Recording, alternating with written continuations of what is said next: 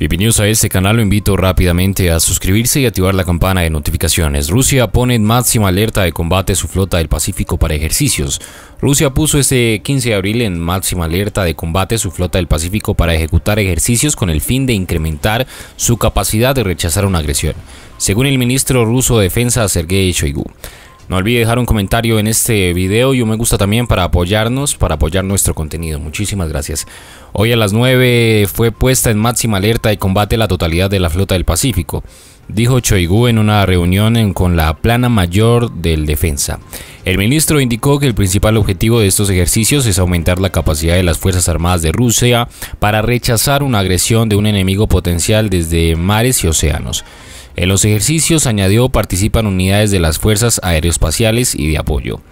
Alerta implica ensayos con proyectiles. El guion de los ejercicios al mando del comandante en jefe de la Armada incluyen acciones defensivas eh, ante arremetidas con proyectiles y aéreos masivas, ensayos de búsqueda y destrucción de submarinos, prácticas de tiro con torpedos, artillería y proyectiles. Choigu ordenó que en el curso de las maniobras las unidades utilicen nuevos tipos de acciones acordes al desarrollo y a los armamentos modernos que posee el enemigo. El jefe del Estado Mayor General de las Fuerzas Armadas de Rusia indicó a su vez que los ejercicios de la Flota del Pacífico se desarrollarán en tres etapas, la primera de las cuales en su puesta en alerta de combate, en la segunda etapa añadió los buques serán desplegados en la zona de las maniobras y en la tercera y última fase se llevarán a cabo las prácticas de tiro y otras acciones. ¿Qué opina de esta información? Nuevamente los invito a suscribirse, gracias por estar acá. Noticias al día. Comencemos con lo último sobre el terreno y lo que está sucediendo en la ofensiva rusa.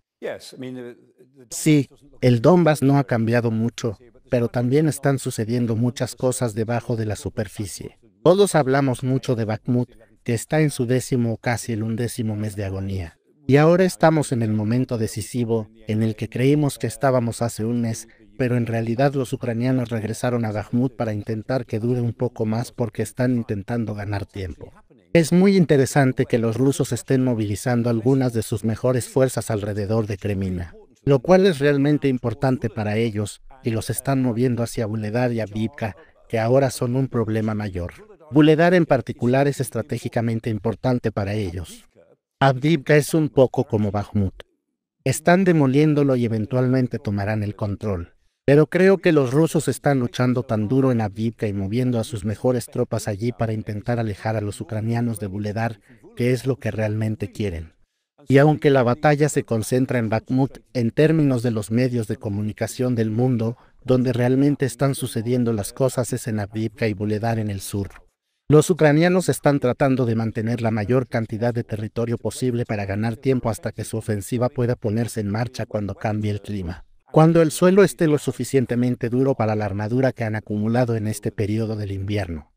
Ahora, en cuanto al tema de las minas terrestres, Michael, en uno de mis viajes a Ucrania el año pasado, me llevaron a un área que estaba completamente contaminada con minas terrestres después de que las tropas rusas se fueran, y fue arduo tratar de limpiar esas zonas que representan una amenaza para los civiles. ¿Cuáles son las últimas noticias sobre el desminado de esas áreas? El gobierno ucraniano dijo en las últimas 24 horas que Kharkov, todo ese oblast, el área en amarillo, que Ucrania liberó en el otoño, dijo que toda esa zona está salpicada de minas terrestres rusas antipersonas. El hecho es que cuando una fuerza se retira como lo hicieron los rusos, dejan minas en el camino para frenar a las tropas que van detrás, que les persiguen. Y la mina terrestre que está causando todos los problemas en Kharkov es la mina mariposa, una mina terrestre antipersonas. Los rusos la desarrollaron en la década de 1980, es muy pequeña, como puedes ver. Lleva una carga de 4 gramos, una carga muy pequeña de un explosivo líquido en las alas de la mina. Y si la levantas te explota en la mano, se activa con una pequeña cantidad de presión. Las disparan desde un proyectil de artillería o desde helicópteros y aviones, entonces esparcen miles de una sola vez. Y simplemente se quedan en el suelo camufladas en la hierba, pero han causado un daño inmenso, aunque no mucho al ejército en sí. El ejército pueden pasar con sus vehículos blindados y si lo necesitan pueden despejar un campo un 20% y es suficiente. Pero los civiles no pueden entrar incluso si está 90% despejado. No podrían aunque solo quedaran 10 kilómetros de 100. Así que estas cosas impiden que la agricultura continúe, además de cualquier otra cosa. Este es un gran problema en el mundo. Se estima que hay unas 110 millones de minas aún colocadas y activas. Cada año unas 5.000 personas mueren o resultan heridas en algún lugar del mundo y aproximadamente la mitad son niños. Y los niños están en riesgo de este tipo de cosas porque están en todas partes y pasan desapercibidos. Y hay grandes organizaciones como la Fundación Halo que ayudan y desactivan alrededor de 100.000 al año, pero cada año se venden unos 2 millones de minas, por lo que es un gran problema y los rusos no están ayudando. Y brevemente antes de que te deje ir Michael, las últimas noticias sobre los documentos clasificados que se publicaron la semana pasada es que son documentos muy confidenciales. Estados Unidos está intentando encontrar la fuente de esta filtración. ¿Qué sabemos y cómo podría impactar potencialmente en el conflicto? Bueno, buena suerte para encontrar la fuente. Es casi seguro que fue alguien que estaba descargando documentos, fotografiándolos y luego subiéndolos a este sitio web. A Discord, donde estuvieron durante días antes de que alguien notara que eran importantes. Parece una especie de aficionado con información, no creo que fuera. ¿Crees que fue un nerd informático? No eso, sino alguien de dentro del sistema. Y la razón por la que los estadounidenses son vulnerables a este tipo de cosas es que su material secreto y ultrasecreto se comparte entre miles de personas.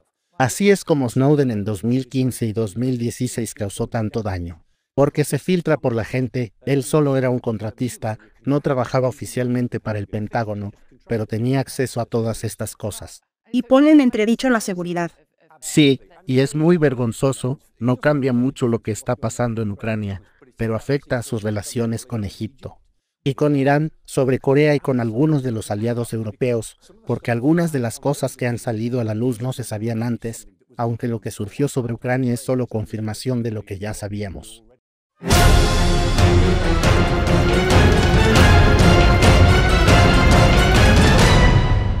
Si no te quieres perder de los últimos acontecimientos que pasan en el mundo, suscríbete y activa la campana. Somos Noticias al Día.